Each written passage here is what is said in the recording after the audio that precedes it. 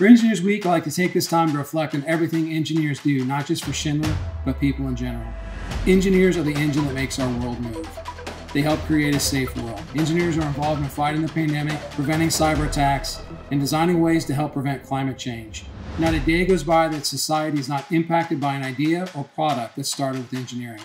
Schindler's engineers are working on touchless elevator systems, looking at ways to design elevators that are safe to install, safe to service, and have the best passenger safety features in the world.